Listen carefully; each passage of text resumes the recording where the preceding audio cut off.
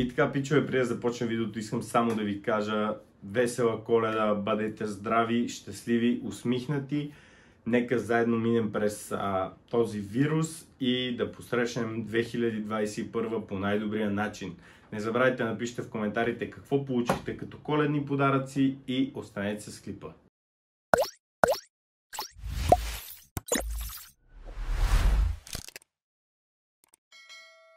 И какво става, пичове? Здравейте на всички! Аз съм Фенат и в днешното видео искам да ви благодаря ужасно, ужасно много за 20-те хиляди абоната, които направихме през тази година. А ако искате да разберете какво още постигнахме заедно през тази не толкова добра за всички година, останете с клипа. Здравейте хора! Предполагам повечето от вас ме познават. Казвам се Филип или Фенат и днес ще направим едно обобщение на 2020 година. Дали лично за мен тя беше успешна или не, като ще говорим в детайли, в цифри и а, в всякакви детайли, в цифри и за неща, които можем да покажем или докажем. Искам отново да ви благодаря за 20 000 абоната и да продължим към другите неща. 2019 година, септември месец, започнах да играя отново доста на компютъра и почиващият ми тогава YouTube канал, в който сега сте влезли и гледате видео, имаше а, скромните 7000 абоната, като а, реших да започна да качвам съдържание свързано с Fortnite и да се опитам да развия канала. YouTube алгоритъма беше забравил, разбира се, за съществуването на този канал и изобщо не промотираше и не пращаше известия за новите видеа на хората, които вече ми бяха абонати. И клиповете събираха около 100-150 гледани. Качвах клипове на Fortnite около 5 месеца и в февруари месец започнах да стримвам и на ролплей, разбира се. А, знаете, че аз съм фен на ролплея и играя. Та започнах да стримвам в YouTube. обмислях идеята за Twitch, която по-късно ще говорим за нея, но си казах, че ако опитам с стримове тук, тъй като ролплея е популярен, аз ще развия своя канал.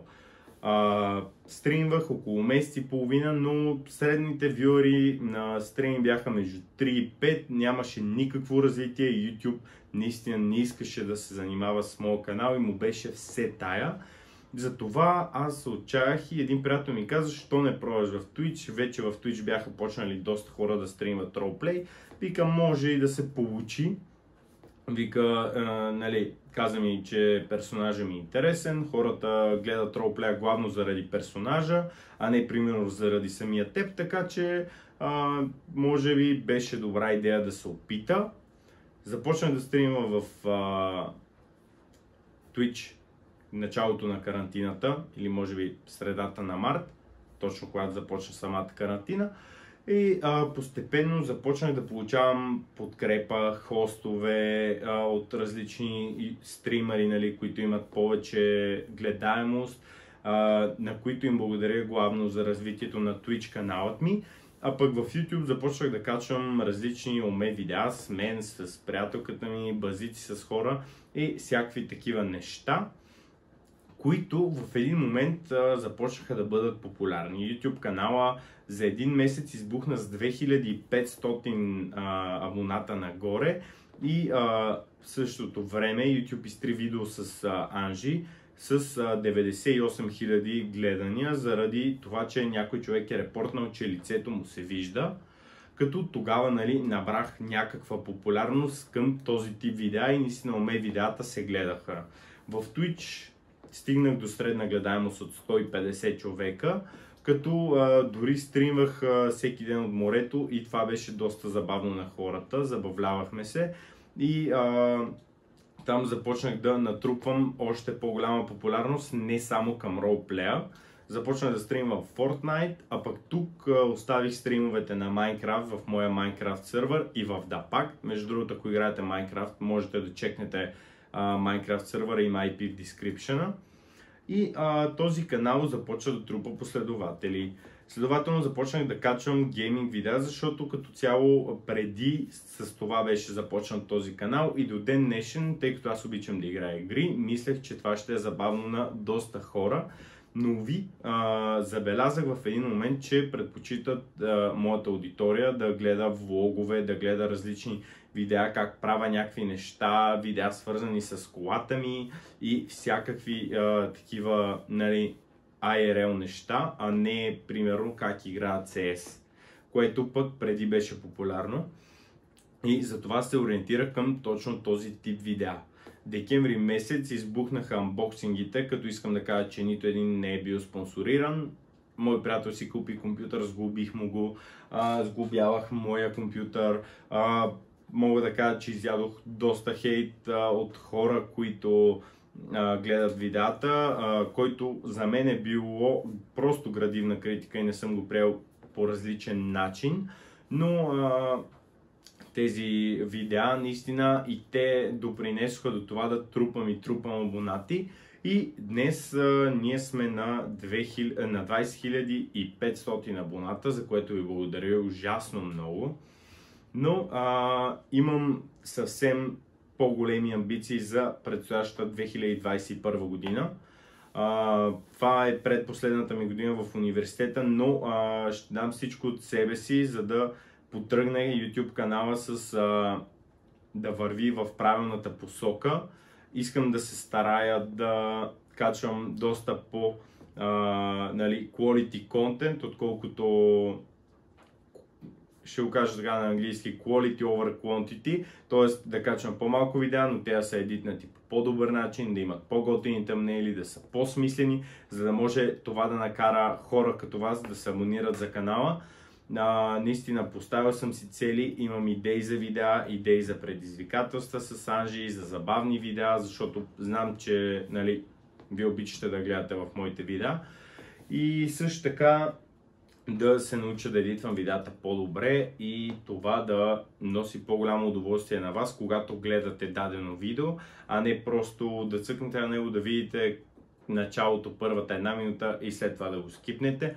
Разбира се, дейли видеята не са, дейли влоговете ще са на първо място, но гейминг видеа ще има качвам на Minecraft, качвам на GTI, Obiri и всякакви такива интересни неща, които се случват.